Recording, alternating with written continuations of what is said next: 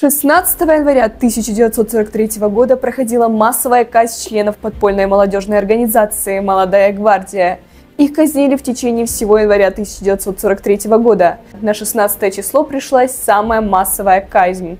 Сразу после оккупации Краснодона летом 1942 года в городе возникли и молодежные подпольные антифашистские группы.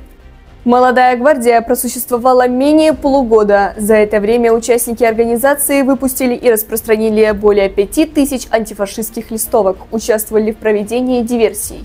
А в ночь на 7 ноября 1942 года молодогвардейцы водрузили 8 красных флагов на самых высоких зданиях Краснодона и прилегающих к нему поселков. А после сожгли биржу, на которой регистрировали людей на принудительные работы в Германию.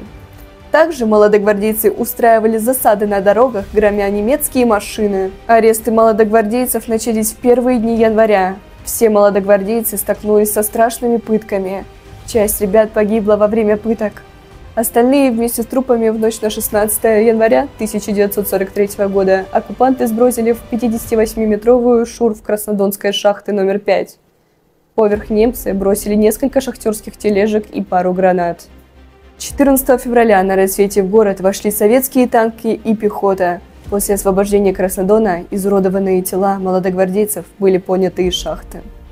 Молодая гвардия стала одним из символов великой победы нашего народа над нацистской Германией. Подвиг юных молодогвардейцев – это яркий пример безответного служения своей отчизне, народу.